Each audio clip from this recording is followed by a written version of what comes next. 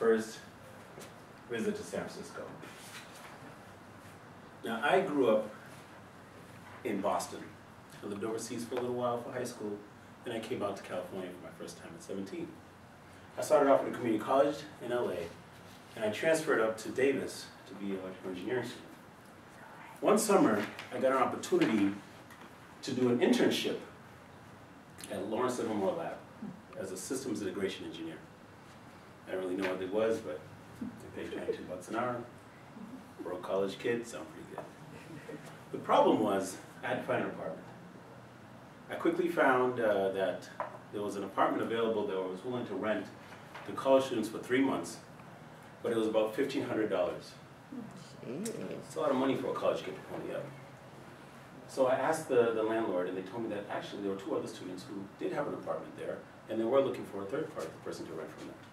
So I asked them if I asked the property manager to hook me up with that person, and sure enough, they introduced me to, to Peter and John.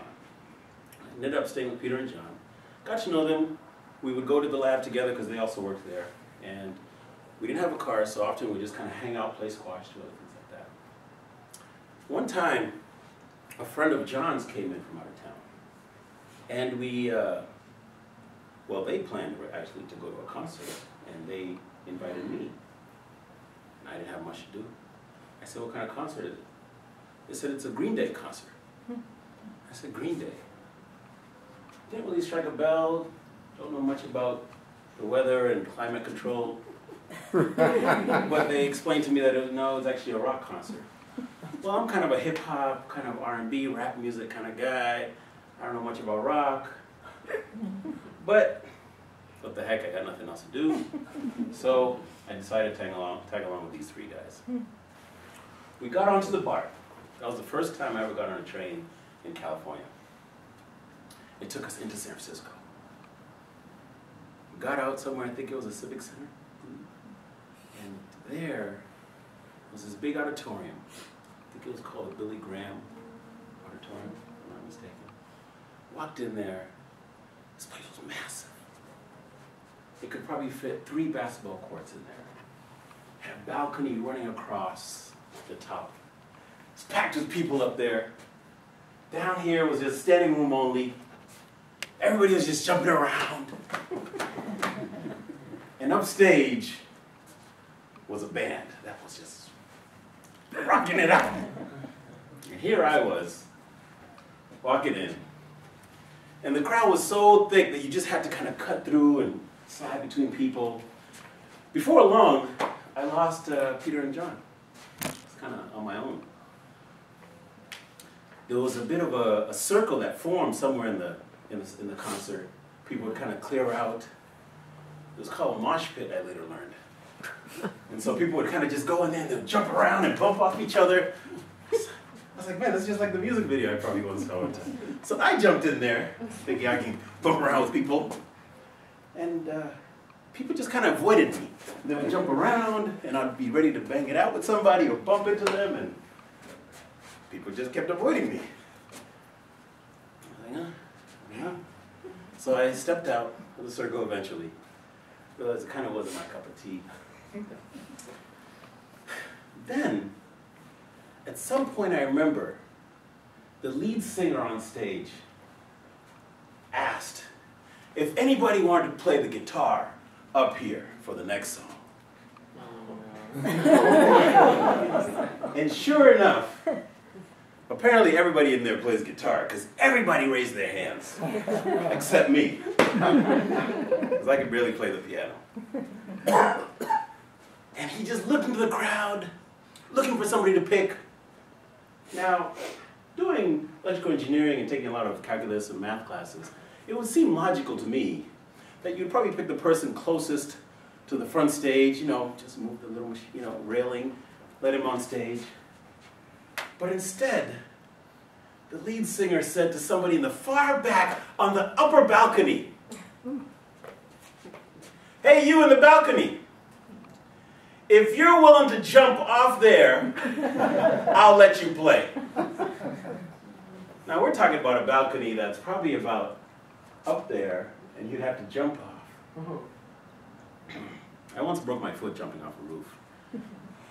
So his chances, I don't know what they were. As soon as he said that, his girlfriend, the girlfriend of the guy who was standing on the balcony, quickly grabbed her boyfriend. She said, Don't do it. Don't jump. Next thing you know, the crowd turned around and said, Jump, jump, jump, jump, jump. I gotta say, compared to a hip hop concert, this is a lot different. At a hip hop concert, if somebody gets on the edge and threatens to jump, everybody else is just getting out of the way. but what was different was this time the lead singer said, Everybody crowd around and catch him. Oh. And so this guy pushed his girlfriend away. Because this was his chance to play with Green Day. Would you jump if you had a chance to play Green Day? Of course. Expert opinion. So the guy gets on the edge of the balcony. He steps up onto it.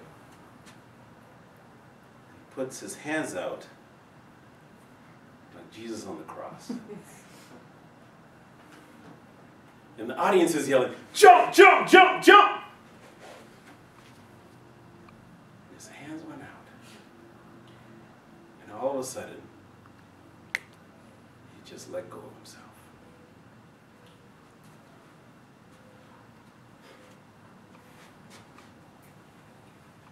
I hadn't been to a funeral in a long time.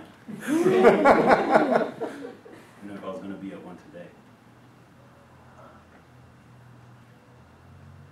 I kind of lost focus of what happened at that point. Because all of a sudden the crowd just kind of picked up. The band started playing another song. And before you knew it, another mosh pit was forming. And the crowd just started swaying a lot more than before. And I kind of felt like people were pushing me a little bit on this side, on my right side. And before I knew it, there was a man who was surfing on top of people. And people were passing him along and passing him along. And before I realized it, it was the guy who jumped. Hmm. And they pushed him onto the stage. And he got up there and they handed him a guitar.